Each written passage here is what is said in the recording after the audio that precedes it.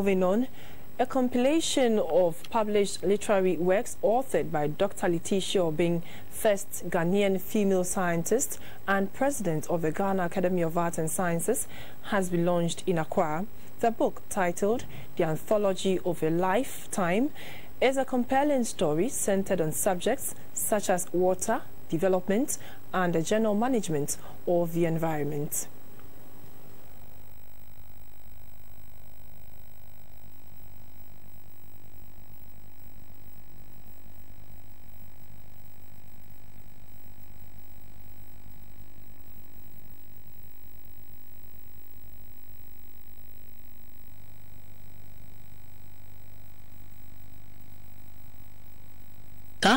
Parasitology and environmental sustainability.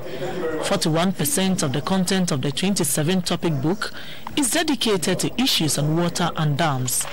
Dr. Letitia Obeng explained in pages 43 to 57 of her book the incidence of loss of livelihood, outbreak of diseases, loss of flora and fauna, and of aquatic life as some of the critical but often neglected aspects of dam construction.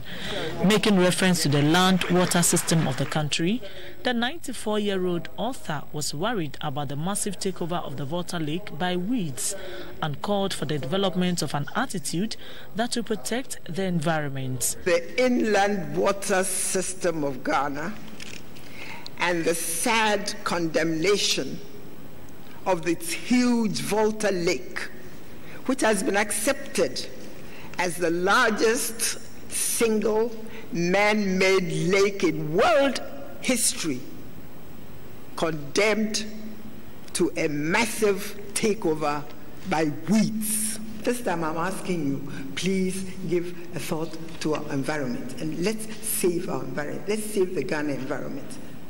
Let's do something about the Volta Lake. It's a disgrace. Launching the book, the guest speaker of the event, Senior Minister Mr. Yaw Osafo-Maafo, thanked the author for drawing government's attention to the underutilization of the Volta Lake. Through the work on the Volta Dam, the author has demonstrated how we can build on research at the national level in order to scale it up for a global effect.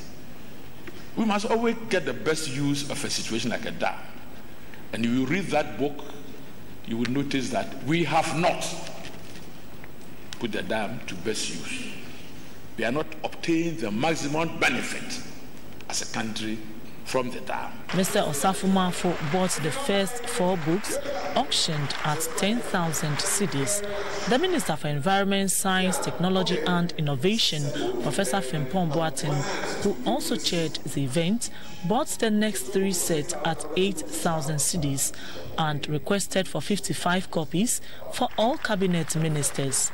In addition to books the author donated to her alma mater, the Achimota School, Dr. Joyce Ayi also added 10 copies for the school's library. Salome Tete, GBC News, Accra.